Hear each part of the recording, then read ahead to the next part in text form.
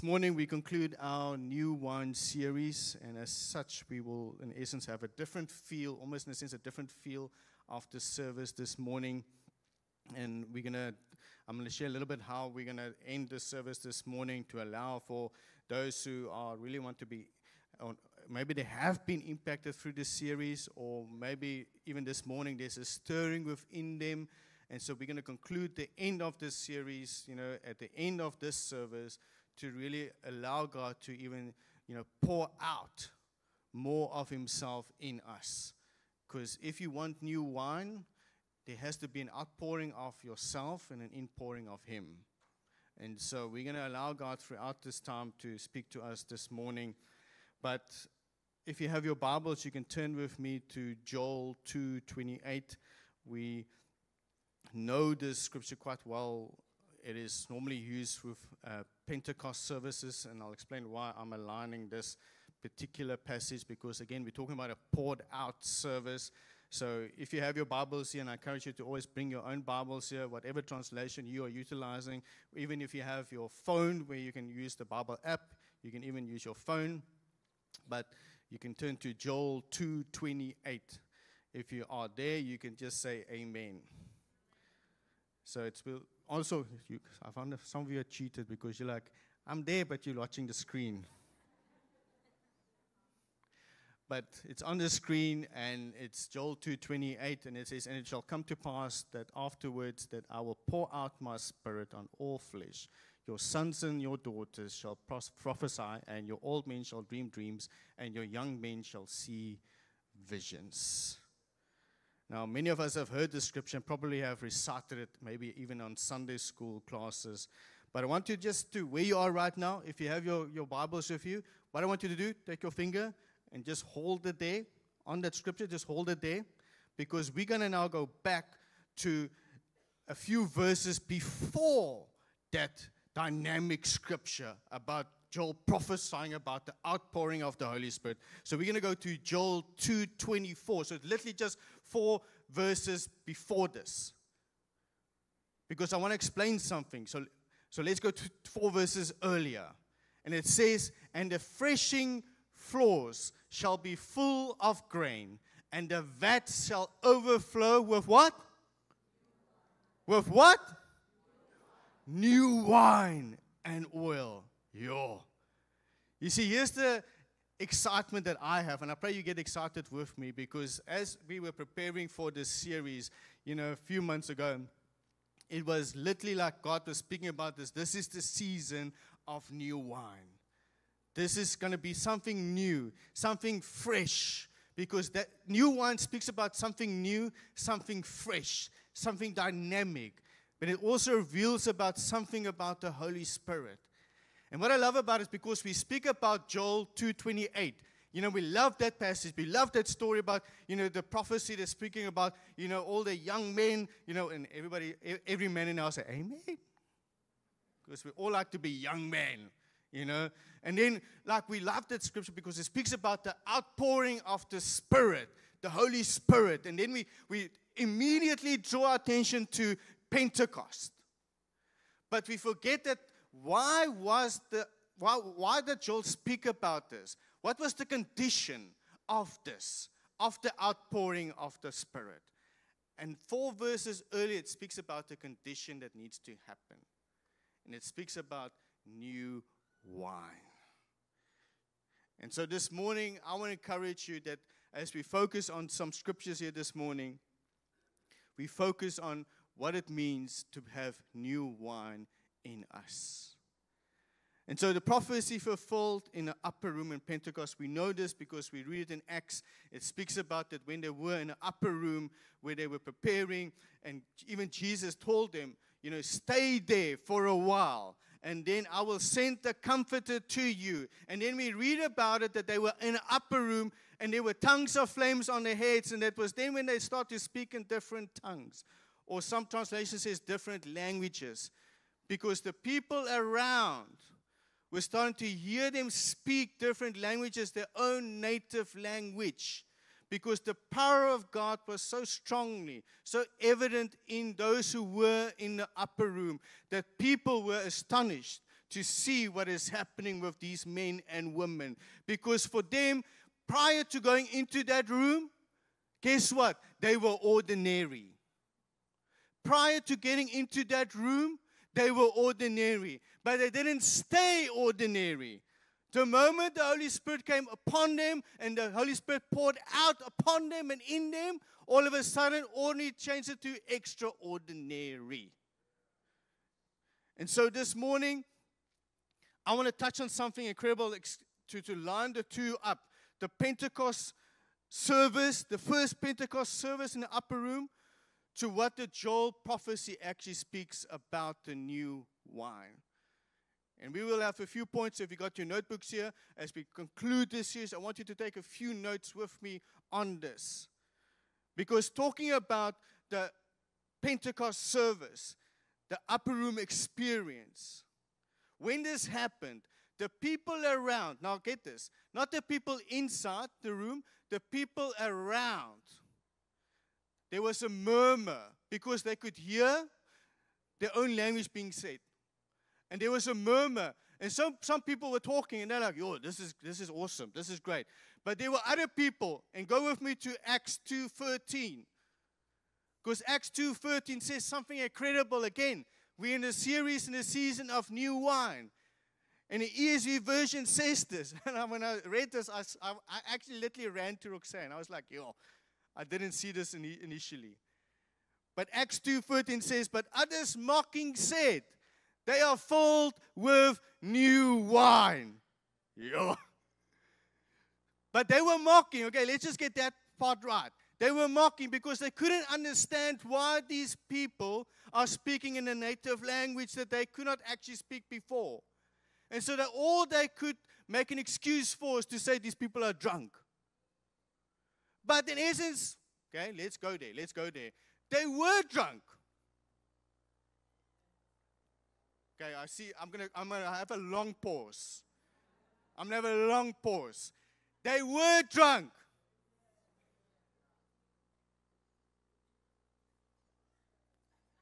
But they were drunk on the Holy Spirit. Some of you were like, yeah, I think they went to the vineyards there at Cape Town and they. Uh, you know what is incredible about this? Because Number one, they were actually mocking the people, but they actually, they literally, upon the scripture of Joel, the prophecy of Joel, they actually even prophesied themselves upon the confirmation of the, the, the, the prophecy of Joel because they said, new wine. They could have chosen any other word, but they chose new wine. So they actually confirmed the prophecy of new wine in these people. But here's the incredible thing they were rather mocking the people because they couldn't understand why there is now something different about these people that were in the upper room. They were operating with a different anointing. Remember, I said they went into the room ordinary, but something happened in the room that changes the atmosphere, that changes everything. And so, point number one if you're writing notes, take this proximity matters. Proximity matters. Now, let me ask this. When you read that part where they went into the upper room, we can try and, establish and understand how this looked like. But I don't think, with all my, my understanding of the scriptures, that, they, that this wasn't excluded, like it was, there was no, no, nobody else besides them was allowed in that room. That means it was an open door policy. If you wanted to be part of that service, you could have come to that service. If you wanted to receive what is going to about to happen, then guess what? You can come through. They weren't saying, sorry, sorry, sorry, we want to see where's your invitation. It wasn't about that. It was to say, let's fill up the room.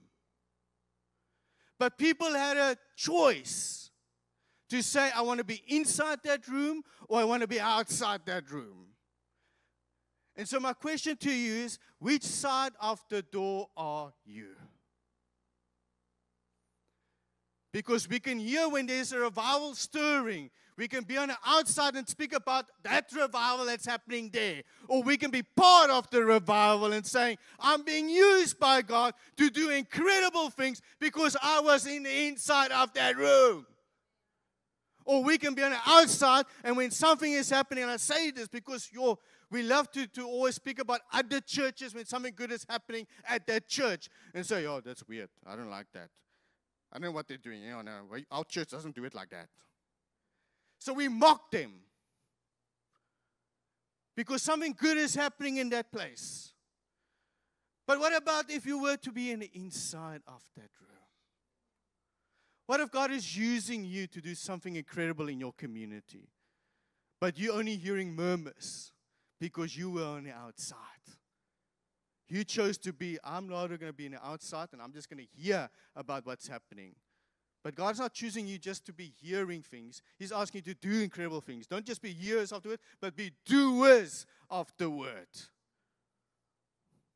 Because we can hear something or we can do something when God speaks to us. So they were mocking them, and then that comes when they speak about the new wine. See, it's either anointing or mocking. It's either anointing or mocking because you're either being anointed in that room or you're going to be in the outside of the room and you're going to be mocking. And I, I pray I'm in the right side of that door. I pray in that place where God anoints me in so many ways that I'm just filled up and being poured into. That I'm anointed in such a way, and I'm saying not just to brag, I'm saying this for each and every one of you because each and any one of you are gifted. You are anointed. But you see, I love this because Jesus, in all his knowledge, all his knowledge, knew this was going to happen. He knew this was going to happen with people who were going to mock them. Can I tell you why? Let's go to John 14, 17. Because he says, He is the Holy Spirit. This is now Jesus saying, I'm sending somebody to you. He's going to help you, He's going to assist you. But understand what's going to happen. Who leads into all truth. And then he carries on to say, The world cannot receive him because it isn't looking for him and doesn't recognize him. But you know him because he lives with you now and later he will be in you. So Jesus already knew that when Pentecost going to happen, there were people that were going to be like, yo, this is weird. We don't like this. Why? Because they didn't know about the Holy Spirit. Why? Because they didn't look for the Holy Spirit. Why? Because they were on the other side of that door. So we always try to, to, to make something look stupid and weird if we don't understand something. Then the next point, okay? Proximity matters. And I urge you to understand that when you're in that proximity, understand that that's when the outpouring of His Holy Spirit comes. The next point availability. Availability. Now, I'm going to try and work through all the messages that we've done throughout this series, talking about new wine and all the parables and all the things that Jesus has done throughout his ministry, talking about new wine. So remember the time when Jesus did his questionably his first miracle, the wedding at Cana? Remember? We turned, you know, we, everybody likes the whole story about, you know, water turned into wine because we try to excuse it that we can't drink wine because if Jesus turned water into wine, that means that I can be a drinker. No. Because if you're going to use that, and I told you, if you're going to use that reasoning, then the question has to be were you at that wedding? Because he did that miracle there. I've yet to hear about weddings. Believe me, for those who want to get married, you pray Jesus at your wedding. Because you just come there with water, and everybody's like, What's happening? No, Jesus is coming. Open bar for everybody. But the, the whole incredible part of this is that I want to talk about availability is the ceremonial stone jars. Remember that Jesus used those ceremonial stone jars? Why? Because they were available to be used by Jesus. And I shared it with Roxanne, I, I, and when I was going through this and planning this, Jesus could have used, I want to say this, Jesus could have used the same containers where the original wine came from. Isn't it strange that, because that wine had to come from somewhere. Remember the first part of that wine? It had to be carried some with some containers. Where's those containers? Because it doesn't mention that anymore. All it mentions now is about the six stone jars. Because why? Because again, we're talking about the ordinary becoming extraordinary. Because Jesus could have easily just taken and filled water with the, the containers that was used for the wine before. But he chose to do something different, something more incredible. He used something that is available to him, the six stone jars. And Jesus wants you to know there's power in your availability. And God is filling you and making you into a glorious vessel. But it reminds me about another story in the Bible talking about availability. In 2 Kings chapter 4, a widow whose husband has passed away comes to Elisha, the prophet.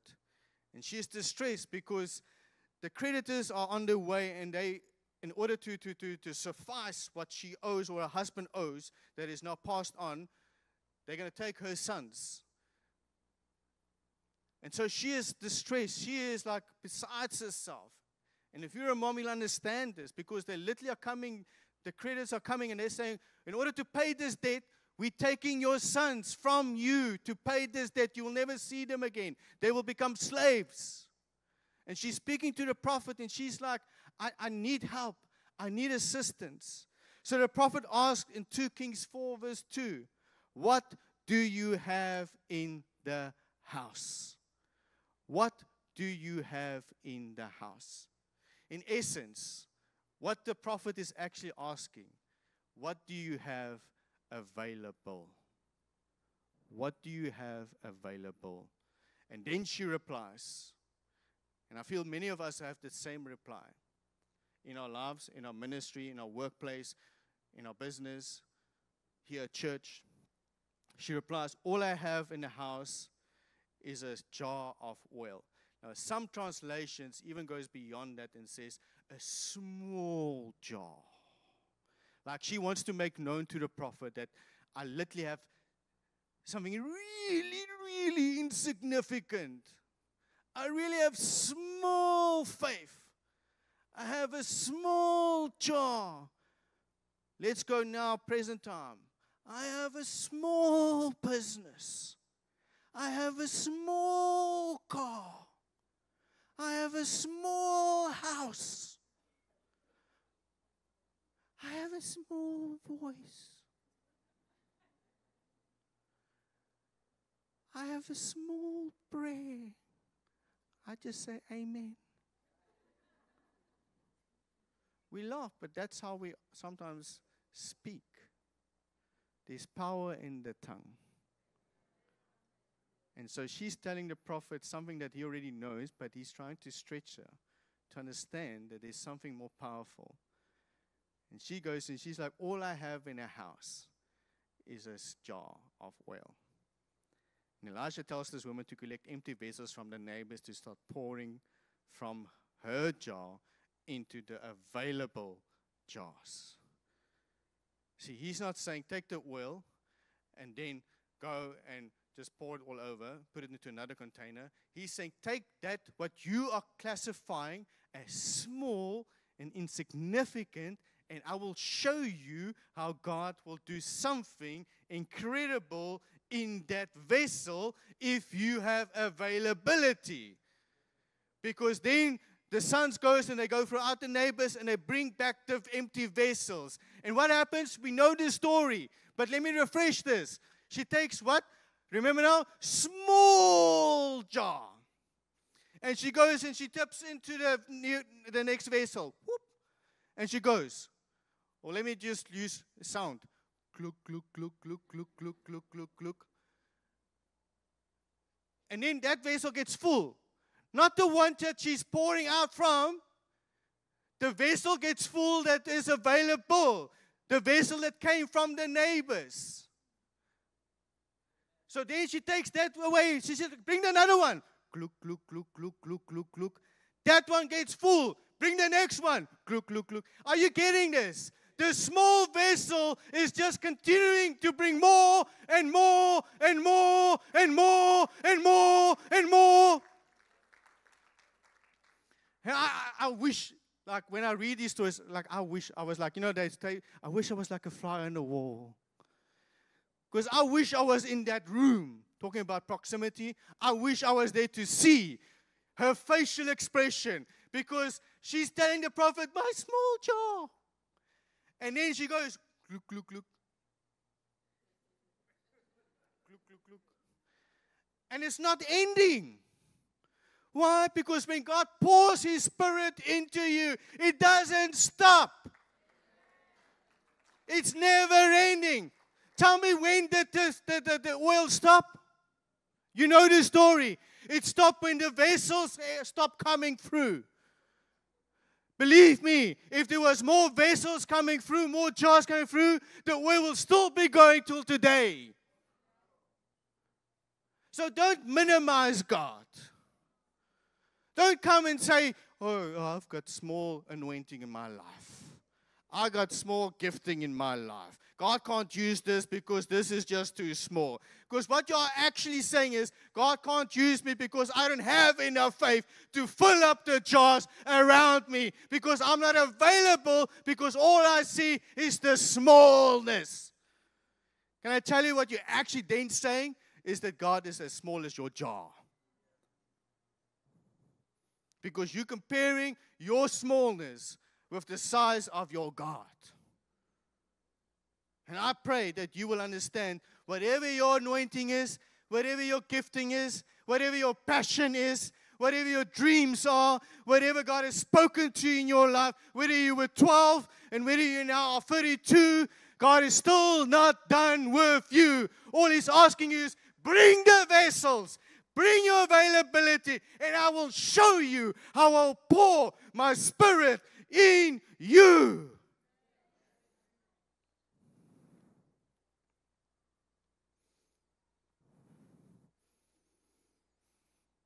In 2 Timothy 2:21, Paul tells Timothy to be a vessel for honor, sanctified and useful for the master.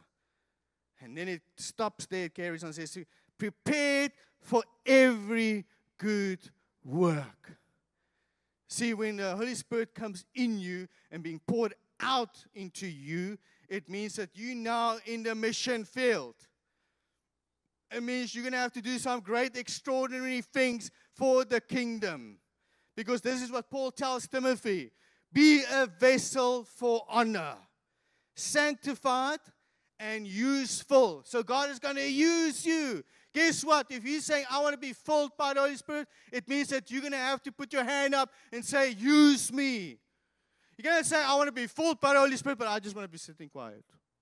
It doesn't work that way. God will use you and then prepared for every good work. God is using your ordinary, your small that you see for His glory. As you surrender what you have to Him. And I love this. And He will replenish your supply. He will replenish your supply. Because when you feel it is emptying out, because when we look at you know, the word being poured out, it means that this is now a supply that's going to come to the end. But I'm here to tell you that God's supply will never, ever run out. If you trust Him with all you have, with all your heart, believe me, He will never run out of supplying you.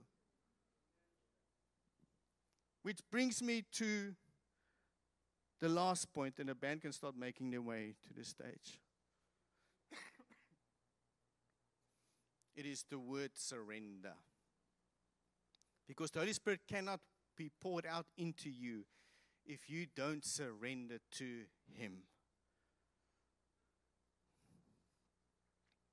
When we embarked on this series, we also wanted to worship with this series in regards to a, a song that we introduced to you guys. And you know this song, New Wine. And we're going to end this now with this song, New Wine. But as, as I was preparing, this song was, uh, Roxanne's my witness, that was like on my playlist, like on repeat. New wine, new wine, just speaking about new wine. But there's those lines in that song that I want to remind you of. And if you haven't got the song on your playlist or anywhere, get it, find it. Because this is the line that is so profound for me. For where there is new wine, there is new power. For there is new freedom, and the kingdom is near. I lay down my old flames to carry your new fire today. Now, all of us have probably have some old flames in our lives. Now, I'm not talking about that kind of old flame that when you go on, when you, when you turn 40 and somebody goes and speaks to you on Facebook. I'm not talking about those old flames. I mean the memories of how you came through, how God just worked in your life.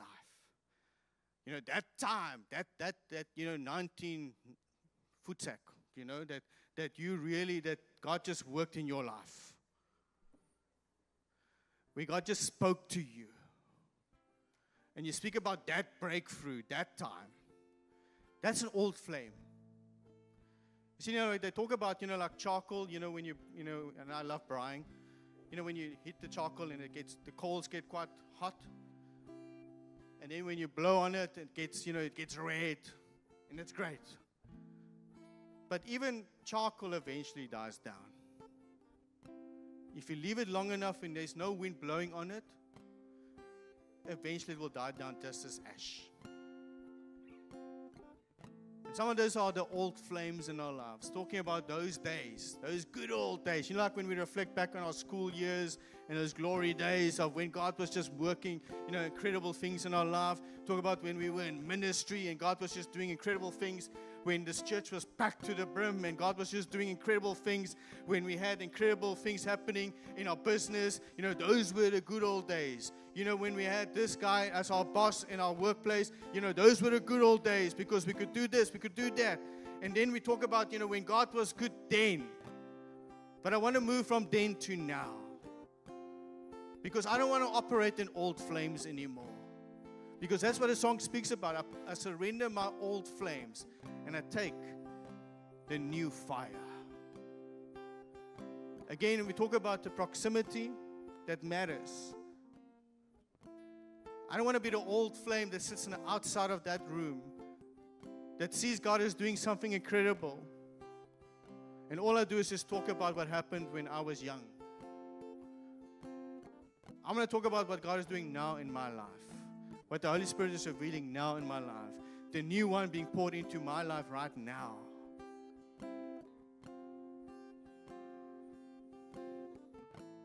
For many of us, we cling on, hold on to the first breakthrough, and that is it.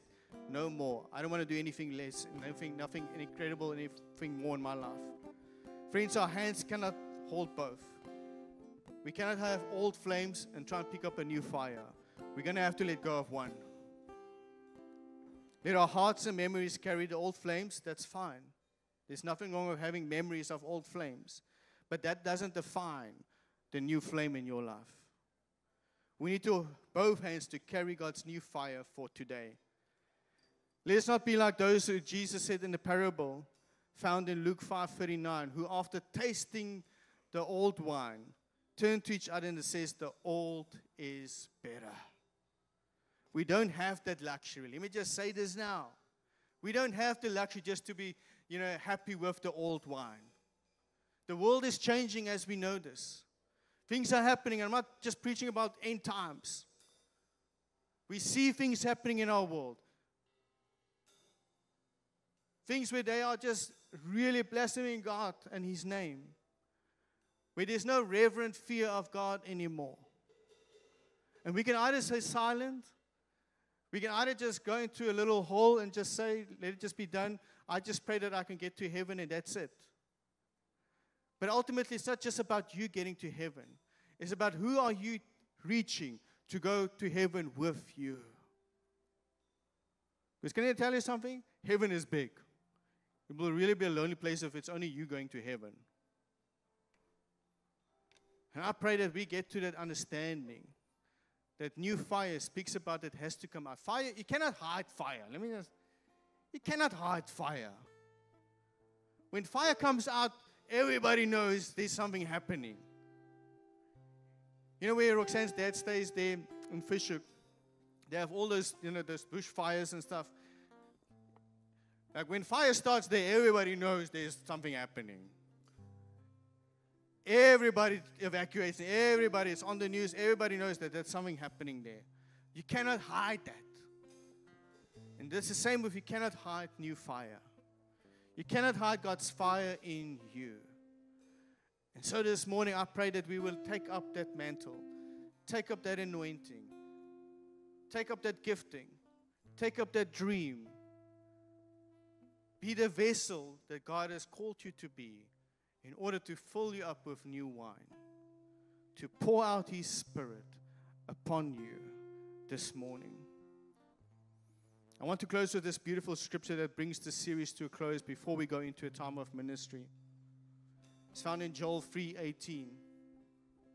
Again, we talk about Joel the prophet, and I believe he was like the one that sets up this series. Because if you read the book of Joel, it really is just incredible how much and how, how many times he actually refers to new wine. In Joel 3:18 it says, And it will come to pass in that day. This is talking about when the Holy Spirit is poured onto all people, that the mountains shall drip with new wine. the hills shall flow with milk, and all the brooks of Judah shall be flooded with water. A fountain shall flow from the house of the Lord and water the valley of Acacias. This is speaking about you. This is talking about when you allow the Holy Spirit to be filled and poured out into you, that the hills, your territory, the place that you claim as yours, it will drip with new wine. And the hills shall flow with milk.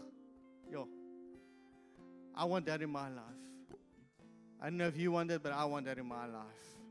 I want when I look to my mountain, when I look to my situation, when I look at all the things that's happening in my life, I don't look at any issues, any dramas, any problems. I just see the new one dripping down the mountain. And I see the milk flowing down the hills. Because again, it talks about the supply that God has. Giving new wine doesn't end. And so I want you to stand this morning. We're going to go into a time of ministry when I just want to speak over your lives this morning. I want you just to just hear this. I want you to close your eyes, even if you can, just to close your eyes. I want you just to receive this as we minister to you this morning. God is saying this morning, come out and be separated. God has called out the called out ones. Because that is what the original word ecclesia speaks about. The church, you and me, that are here this morning. The word ecclesia means to be called out, to be separated from the rest of the world. And God is calling you to come out and be separated. And He's saying, For I'm removing the bowels from the lips of this generation. I am in this hour putting fresh hot coals on the tongues of my people that have been afraid to speak, that have been muzzled, that have felt the spirit of Python around their necks, choking them into submission and silence. I'm delivering them from every single mind binding spirit that has been tormenting them, every spirit of slander and assassination that has been relentlessly attacking them, and every single voice of conflict and confusion that has weighed against their minds and their peace and robbed them of their vision and their future. I'm right now dealing with this spirit, and I'm leading my people out of old wineskin into something fresh and something new. And if they're going to feel their spirit burning within their delight again, they're going to feel the fresh wind of my spirit come out of their mouths and authority back into their lips. They will feel passion arise from the depths of their hearts again, as they did in the beginning. I'm confronting the fear of man and pouring out and pouring out my spirit upon each and every young man, old man, in between man this morning. I'm looking to and fro around the earth for a generation who will choose me over the crowd, who will choose this secret place over the public space. I'm looking for those who will lay down their earthly crowns and reputation to follow me. Who will lay down their earthly crowns and pick up their new mantle, their new fire? Who will press against the fear of man and lean into the fear of the Lord? Church, are you ready to receive new wine in your life this morning?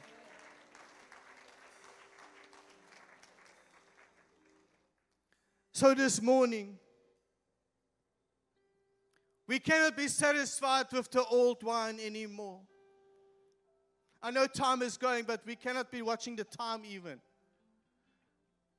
This is a time where you can make a decision right now, this time, this morning. Which side of that door do you want to be at? Because again, proximity matters, availability matters, surrender matters. And so this morning, surrender all to Him. And if you want new wine this morning, you're going to come to the front. We're going to pray for you to receive new wine, new revelation, new dreams, new mantle, new authority. Don't just hold on to the old. Remember, I said old flames cannot carry anymore. There's something new God wants to stir within your heart this morning. And you can choose to stay behind. That's fine. Or you can choose to come to the front and receive new wine where God wants to speak into your life, an outpouring of His Spirit into you. And you might be saying, but yes, there's so many people here, I don't know if there's going to be enough. Remember, His supply doesn't end. Don't miss out an opportunity to come to the front. The worship team will worship in the background. Don't rush off. The coffee will still be there, the tea will still be there. People will still be there to help you. The roast that will still be cooking, that will still be there. Going to Panos later, it's, Panos will still be there. Spur will still be there. But this is a moment where you can now say, New wine in my life. And so come to the front. Don't wait more. Come, come, come, come, come. We're going to pray for you. We're going to allow God to minister to you this morning. Come to the front. New wine is about to be poured out into your life this morning.